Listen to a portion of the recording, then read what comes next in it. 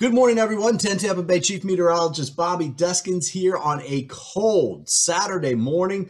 Lots of sunshine out there for most areas right now. We're starting to see the clouds come in from the south, and that will continue. But man, oh man, is it cold out there. Most areas at or below freezing, especially Tampa northward. Basically, it is a nice, nice start out there as far as the skies go, but it's going to be on the cold side today. Here's a live look from Tampa downtown. We're actually looking towards the south where those clouds are, and they will actually continue to push northward over the area. They're actually coming in out of the west, but that's going to give us some high clouds on and off throughout the day. 32 degrees. The dew point is 10. The wind's blowing out of the north at 10 miles per hour. That means it is feeling like 24 degrees outside. 32 is the lowest we've gotten so far. The last time we were at or below 32 was January 18th of 2018. Now, hard to complain because, you know, yeah, we're at the freezing mark, but it's in the mid 20s in the northern part of the state, 58 in Key West.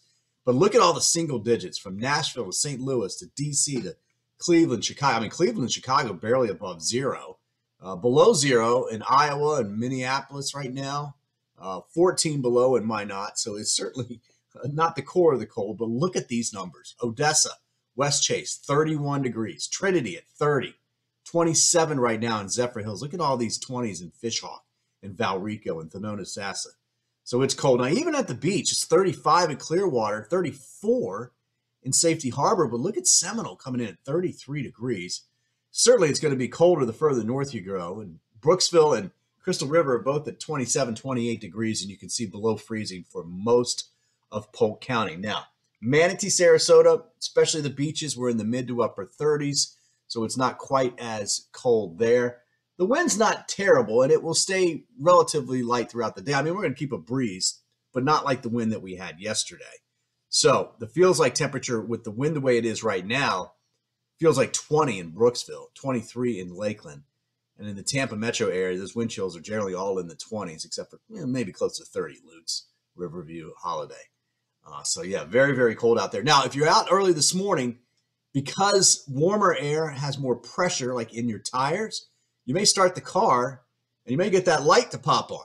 So keep that in mind. It's probably because your, your tire pressure was close to where it should be. And then with every 10 degree drop, you lose one to two psi. So that check tire pressure light is likely going to come on for some of you uh, first thing this morning. Just add a little bit of air. That's all you really need to do.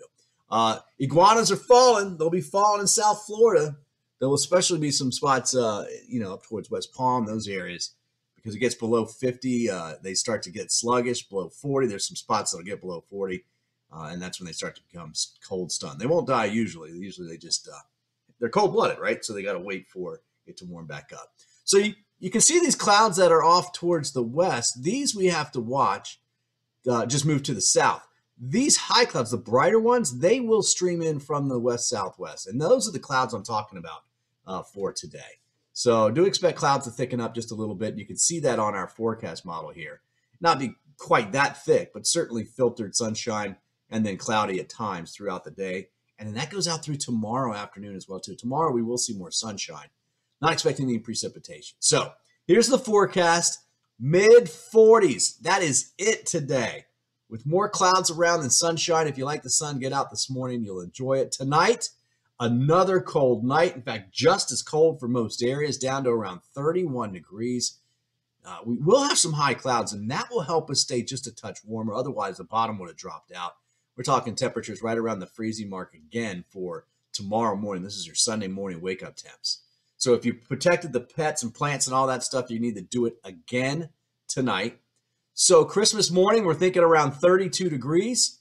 Here are the top five coldest Christmas mornings. We're going to be top five. Uh, we're going to bump out 1995, it looks like. We'll be close to getting top four. So we'll keep an eye on that for you. But yeah, this, this doesn't happen very often for us. Sunday does warm a touch, not by much. We're still going mid to upper 40s. Still going to keep some clouds around, but we'll have a little bit more sunshine, especially by the afternoon. Then Monday morning, here we go. Look at that, above freezing most areas right around the Tampa area, but still northern Pasco, Hernando, and Citrus County will be below freezing for many locations. But the warm up is beginning as we get into Tuesday morning. I mean, most areas uh, in the upper 30s to low 40s. So certainly going to start that warming trend. So if you did protect plants, as I mentioned, don't forget to do it again for tonight. Now the sun's out and we're going to start warming up here, especially after about nine o'clock. Get those covers off. You don't need those all day. You don't want to get too hot. Uh, but you do want to put those things right back on as we get into tonight. Keep, keep an eye on those pets as well. So here's the warming trend as we go through the next several days. It's Monday into Tuesday. Look at that East Coast warming trend by Wednesday. I mean, they're going to go from well below with lots of wind and wind chills to well above, melting all that snow. By the time we get to Thursday and Friday, look at that, all the way up into Canada. I mean, it's going to be really, really warm. That means for us, we're going to be back near 80. I mean, hey, it's Florida. That's what happens here, right? We have winter, but we have like two or three days of it, and then the rest of the, our regular weather comes back. And that's what's going to happen. 63 by Tuesday, 70s by Wednesday, close to 80 by Friday through the upcoming weekend. These numbers look a little warm to me, but the ballpark, certainly ballpark for New Year's Eve and New Year's Day. Beautiful weather ahead. Uh, temps right now, you can see the current numbers across the area. Yeah, it is a cold one. Whew. Thank goodness we live here in Florida. There's your seven day forecast. The average high this time of year is 73. The average low is 55.